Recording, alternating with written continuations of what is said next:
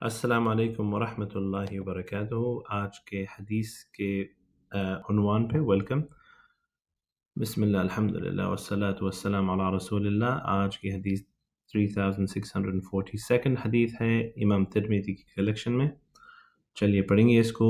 ان عبداللہ بن الحارث۔ عبداللہ بن حارث صحابی کا نام ہے بن جز جو جز کے بیٹے تھے۔ فرماتے ہیں، قال ما كان ضحك رسول اللہ صلی اللہ علیہ وسلم اللہ تبسم۔ کہتے ہیں کہ ما كان، تھا نہیں، کو کیا چیز نہیں تھا؟ ضحك رسول اللہ۔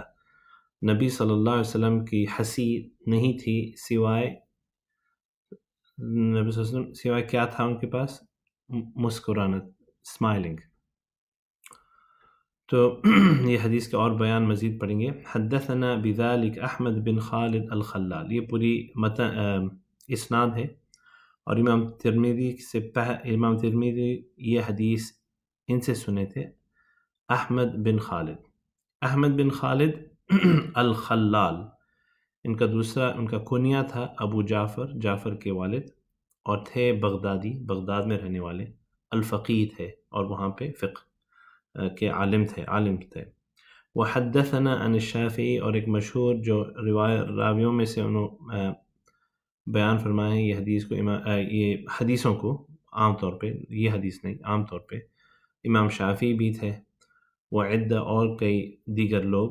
وہ حدث ان ہو اور ان سے جو روایت کرے ہیں، جس طرح آپ دیکھ رہے ہیں، امام ترمیدی والنسائی من المحدثین وغیرہ تو امام نسائی کے کتاب میں بھی یہ راوی کی حدیثیں بھی موجود ہے اور یہ حدیث کی آخری ہے، یہ صحیح حدیث ہے۔ وہ ماتا بھی سامرہ میں ان کی انتقال ہوا تھا۔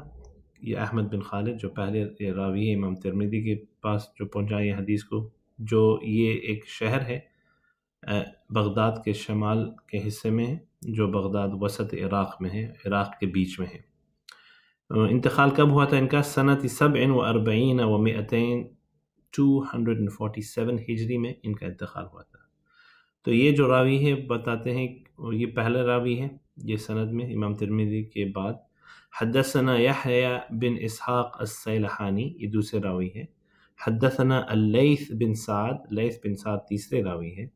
ان یزید بن ابی حبیب چوتھے راوی، عن عبداللہ بن الحارث، جو صحابی کے نام، تو امام ترمیدی اور ان کے چار راویوں درمیان ہے، بن جز۔ فرماتے ہیں صحابی رضی اللہ عنہ عبداللہ بن الحارث بن جز، فرماتے ہیں قالب کہیں، ما كان ضحك رسول اللہ صلی اللہ علیہ وسلم الا تبسما نبی صلی اللہ علیہ وسلم کی جو ہنسی تھی، صرف مسکراہٹ مسکراہٹ تھی بس اتنا ہی حدیث ہے۔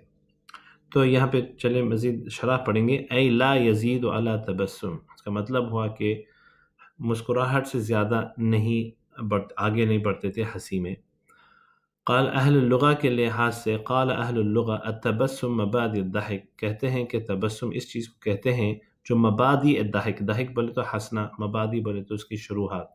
ہنسنے کی شروحات وہ دحک اور دحک ہنسنا ان بسات الوج چہرے کا کھینچنا حد تک یہ حد تک تظہر الاسنان، اسنان ظاہر ہو جاتے ہیں من السرور، خوشی کی وجہ سے۔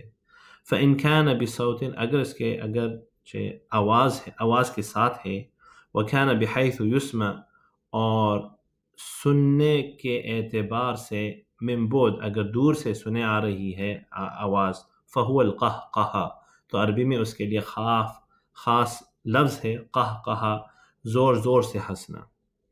وہ اللہ فہو دحک اور اگر زور سے، دور سے نہیں آواز سنے، آ رہی ہے، تو اس کو ہنسی بولتے ہیں، عربی میں دحک وہ انکان بلا صوتن اگر آواز کے بغیر ہے فہو تبسم تو پھر یہ مسکراہٹ ہے، تبسم ہے۔ وہ تسم الاسنان اور دانت جو دکھتے ہیں، ہنستے وقت فی مقدم الفم، جو فم منہ کے مقدم میں، آگے کے حصے میں ہے، الضواحک، ان کو کہتے ہیں دواحک دیکھیں آپ، اس کے اندر ضاحک سے نزدیک ہے، کیونکہ ہنسنے سے تعلق ہوتا ہے، کیونکہ وہ ہنسی کے وقت دکھتے ہیں۔ وہی الثنایا، ثنایا بولے تو آگے کے دانت، بالکل سامنے کے دانت، جسے ت ث کے الفاظ نکلتے ہیں۔ والانیاب یہ جو تھوڑے سے شارپ دانت ہوتے ہیں کینائن بولتے ہیں، یہ انسائسز انگریزی میں بولتے ہیں۔ وما یلیہا اور اس کے پیچھے کینائن کے پیچھے وہ تسمہ نواجد ان کو نواجد بولتے ہیں۔ جو انگریزی میں مولار اور پری مولار سب اس میں شمار ہوتے ہیں۔ وحاد الحصر، تو یہ جو صحابی فرماتے ہیں کہ النبی صلی اللہ علیہ وسلم صرف اللہ ما كان ضحک ان کی ہنسی نہیں تھی، صرف اللہ تبسمن مسکراہٹ، اس کو حسر بولیں گے کیونکہ انہوں نے حسر کر دیے اضافی تو یہ شرح میں بتا رہے ہیں کہ یہ اضافی حسر ہے۔ اس کا مطلب ہے کہ بنسبت للغالب۔ اس کا مطلب ہے کہ عام طور پہ، غالب طور پہ نبی صلی اللہ علیہ وسلم مسکراہٹ مسکراہٹ ہی ہوتی تھی ان کی ہنسی۔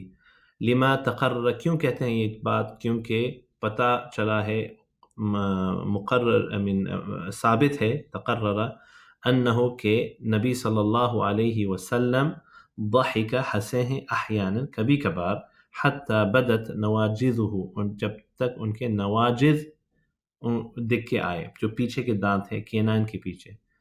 اللہ بے شک سم علماء یہ کہتے ہیں کہ ان یحمل علی المبالغہ۔ یہ بولنے کا جو طریقہ ہے کہ پیچھے کے دانت دکھیں، یہ مبالغہ کے لیے ہے۔ مینس uh, تاکید کے لیے۔ اللہ ہم سب کو نبی صلی اللہ علیہ وسلم کی سنت پر عمل کرنے کی توفیق دے اور ان کے، ہمارے دلوں کے اندر نبی صلی اللہ علیہ وسلم کے لیے محبت ڈالیں۔ جو ایسی محبت ڈالیں جو ہر انسان سے ہمارے ہمارے نفس سے بھی زیادہ محبت ہمارے دلوں میں نبی صلی اللہ علیہ وسلم کی رہی۔ ان کی حرکات اور سنت کی دیکھ کر پھر ہمیں یہ چیز پیدا ہونا چاہیے انشاءاللہ بإذن اللہ۔ السلام عليكم ورحمة الله وبركاته.